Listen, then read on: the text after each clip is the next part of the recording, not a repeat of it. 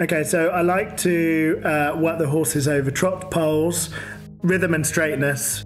Straightness is very, very important, and as you can see, I've put a tunnel of poles before and after the trot poles just to guarantee that you are in the middle. I think it's very, very important that the horses are always in the middle of the poles, uh, whether the poles are in a straight line or in a curve.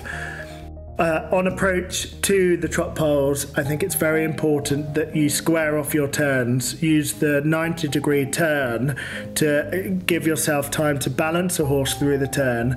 And remember to keep the horse's body straight for as many strides as possible before the poles.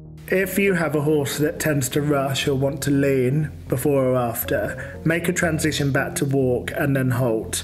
So the horse isn't always expecting to trot through or gain speed. Another thing that you can do is also try and keep the horse on the line, and when you do pull the horse up, turn it the opposite way to the way the horse thinks it's going to go.